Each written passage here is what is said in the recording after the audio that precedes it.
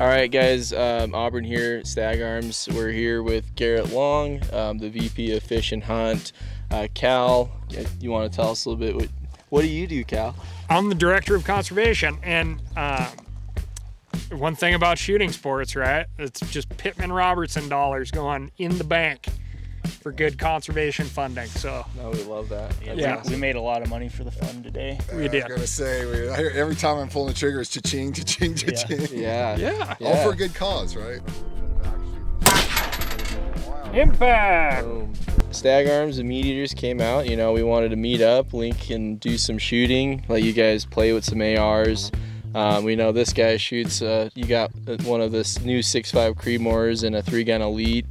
Um, yeah, really, you know, we, we like to kind of push the fact of hunting with an AR, you know, some of the practicalities of that, but we know you guys don't really hunt with an AR.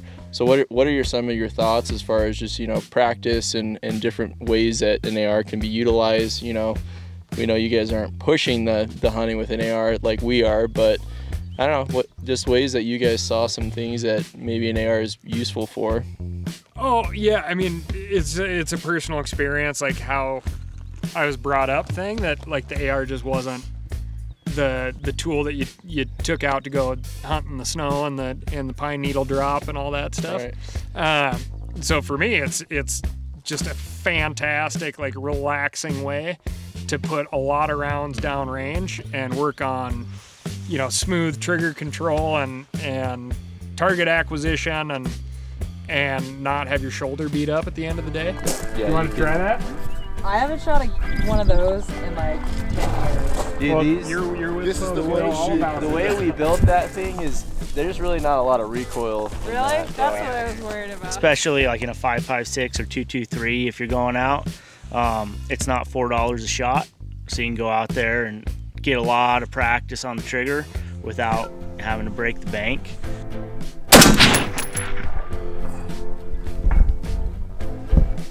Sound like a hit? Yeah.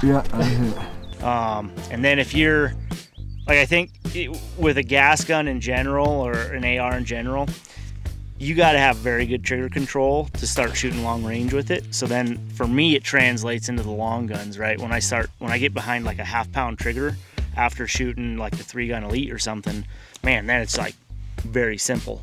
Right. Um, and it, it does just teach very good trigger follow through. Scope, and it should be just a perfect. Oh shit, yeah. Yeah, see that? Okay. There you go. So that looks a lot oh, there we go. Okay. I also found out with with with the positions too because it seems like after you pull the trigger you have to maintain the gun in that you know with Mm-hmm. that perfect form in order to get the gun back on target whereas like a bolt gun is kind of quick it's like boom it's there you know Yep. where this gun it kind of take because you had that the rotating mass or you know of, Yep. of the buffer coming back and forth so i feel like and and, and you would prob- probably know better than i but getting good at shooting with the ar then going to a bolt gun it's like man your Oh, your positions are going to be tight Yeah. your yeah. technique That's Yeah. a good point. Yeah. No, man, I think they're sweet. Uh, See? You can definitely tell so. You got like a beautiful cluster there, right there, right? So So, it's you just your impact on that last one uh-huh was was just slightly low and right of that. the center Yep. There's really nobody I run into where I'm like, you haven't practiced, or I'm like, you've, you're practicing too much, right? It's like it's not a thing. So, Yeah. um, and it's a huge help to have that. Just like having a dedicated turkey shotgun, it's a huge help to have a dedicated like practice gun. It's set up for you know ideally, yeah, not big heavy hunting loads right. that you can you can spend a reasonable amount of money Yeah. shooting, practicing, getting confident, and then that's going to transfer over for for the uh, the meat gun. Right. Wow. Thank you. That was really cool. With that set up, you just got to know you're going to hit it. No, I mean I'm the same way. I grew up without an AR was not a thing in my family. Like you don't play with it. You just my parents didn't even care to have one in the house.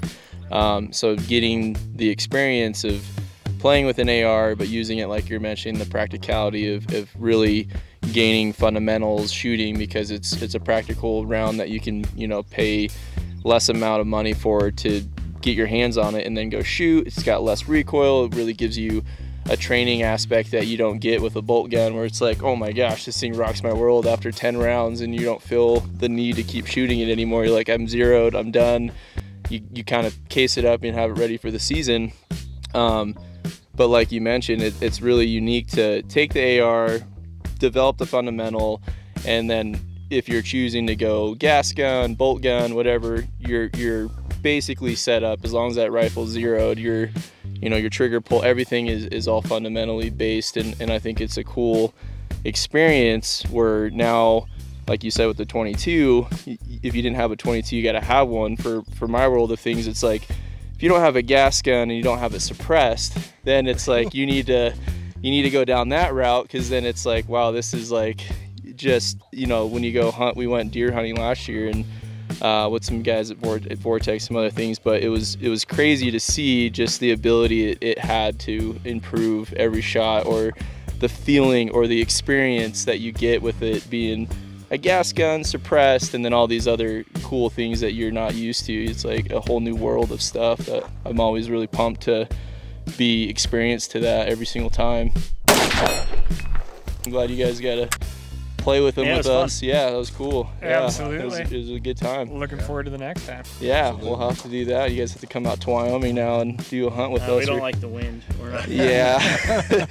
Well, that's Yeah, it it was like It's today. we're, this is like we're gonna get spoiled here. Yeah. Beautiful day out here. Awesome range with targetry, steel all the way out to what a thousand, 1200, yeah.